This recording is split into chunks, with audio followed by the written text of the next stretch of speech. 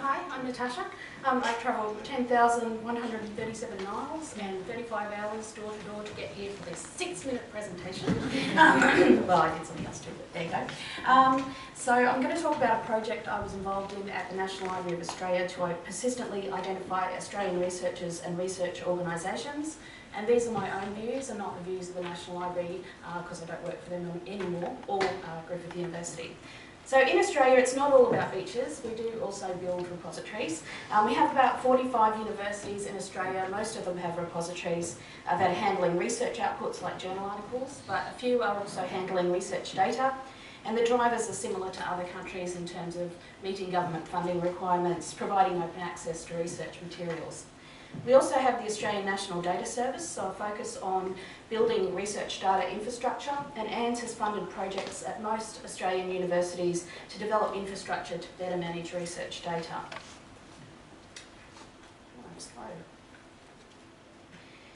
The National Library of Australia is in Canberra. If you thought the capital of Australia was Sydney or Melbourne, it's actually Canberra, which is very small.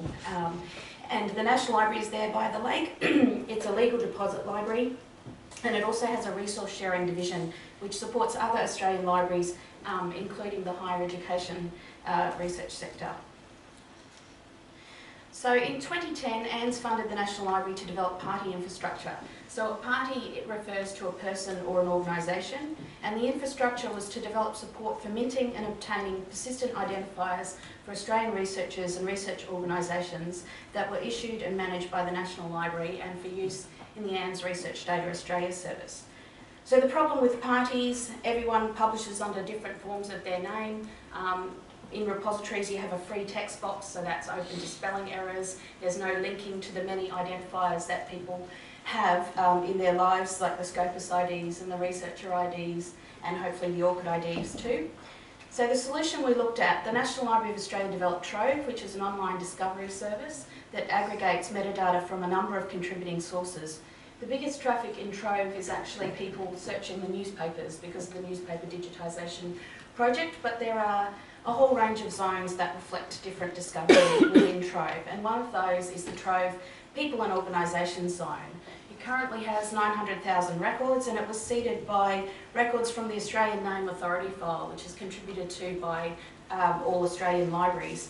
And the type of info you can see in there is biographical, related people and organisations, publications and that sort of thing.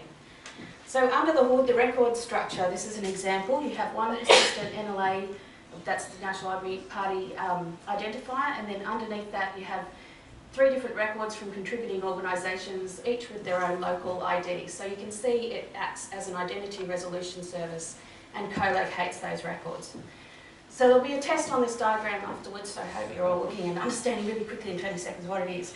Um, but basically, OAI PMH harvesting of records into the National Library, an automatic matching process to see whether your incoming records match anything in the party infrastructure. If they do, it automatically gets assigned the NLA persistent identifier, and if it doesn't, it goes to TIM, which is the Trove Identities Manager. That's an online um, system where uh, people can go in and manage, manage their records, create new identities. Um, it's a tool for disambiguation so that you get just the one persistent identifier for the one person or organisation record. The Party Infrastructure Project was extending Trove to the research sector.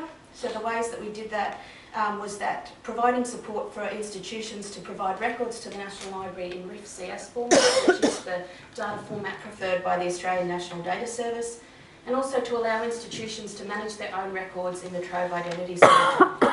So the first phase of the project, we had community consultation, so we ran a survey to see what names data people had. We had a names roundtable to discuss the project, an advisory group from um, research organisations in the sector, and we had an early implementers group to, to prove uh, the proof of concept, basically. Uh, so we had some success. The records for where that quotes the party uh, identifier in the ANDS Research Data Australia service. And the National Library currently is working with 22 institutions to use the party identifier. So by the end of the, uh, by the, end of the year, more than half of Australian research institutions will be using the service. So the projects face some challenges. Challenge one, names aren't easy. Bennelong, Indigenous Australian, no surname, no birth date, unknown birth date, no publications. Captain Cook, He's not Australian, but should he be in an Australian service? Yes, I would say yes. We sort of claim him as our own. Challenge two, names data is privacy issues. So individuals have a lot of concerns, particularly the one about making their fragmented identity into a whole. I blog here, I write an article there, I don't want it all together in the one interface. Um, institutions have concerns. I think most institutions can't provide birth dates to the party infrastructure, but there's an opt-out option if people are worried about their privacy. There was a chicken and egg problem, so a number of projects running in parallel, including the ORCID project and a number of ANDS projects, which means that probably all the requirements didn't come through and are actually going to come through as people really start using the infrastructure and as they really test the workflows on a large scale. Lessons, you need more than just carrots. Um, we didn't have publisher buy-in and that would have guaranteed people to use it. Without that, you actually need sticks, something that ties people into the project deliverables um, because they need to promote the big picture. People have to invest time into this, so there's, there's a bit of a sell involved and that wasn't part of the project funding. Lesson two, um, we spent a lot of time developing the Trove Identities Manager, which is used for hand matching and author disambiguation, but we probably should have put it into developing a better API. So people can get their data through APIs like, the, well, they can get it through OAI, PMH and an SIU interface, but we really need a very quick find and get uh, functionality in the API. It's, it's finally finished, now let's begin. People are using it, so there's a need for ongoing support for the project, training, that's that kind of thing, and that's where the effort needs to go now. Thank you.